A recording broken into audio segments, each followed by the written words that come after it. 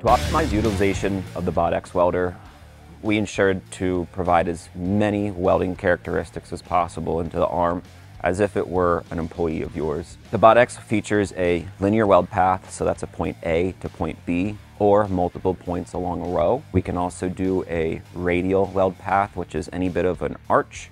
We can also do a full circle, semicircle, S-bends. Limitations of these radiuses can be as large as the robot can reach, all the way down to as small as a half inch. Another function that the BotX has is linear stitch welding. What this can control is the number of stitch welds, the length, and then within the algorithm itself, it'll calculate the even spacing between each weld, and then start at the beginning of the program and end its last weld at the termination of where it was taught. And of course, like all things, your welders are tack welding, this robot can do the same. Just as we programmed our linear welds, the linear stitch weld just uses a point A to point B. On this part, we're gonna first program a tack weld. We're gonna start by moving the robot into the position of where I want the tack to be.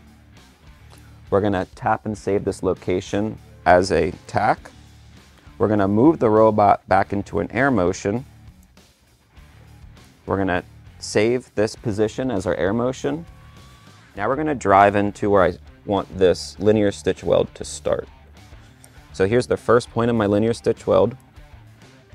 As we did before, we're setting up our torch angle to be at 45 degrees into the root of the weld, then also pushing our wire.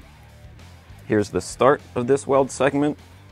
Now we're gonna move the robot into the termination of this weld segment. What we're gonna do is save this program. We're gonna create a new playlist with this part. Before welding, to validate the path that we took, we perform what we call a dry run. This is a non-welding path that the, that the robot will take. Therefore, we could visualize what this program actually looks like before we weld our part. With the arc off on the operator box, we're gonna hit our play button and we're gonna go through the different motion steps that we programmed in. So first our tack weld, our air motion, and here's our linear stitch weld. It's weld one, Here's weld two.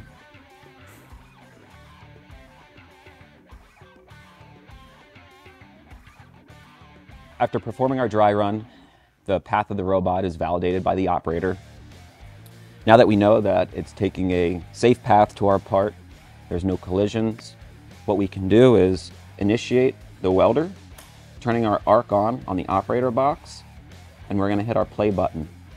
One thing you'll notice that as the robot's moving, through its program, you'll hear a beep on our light tower.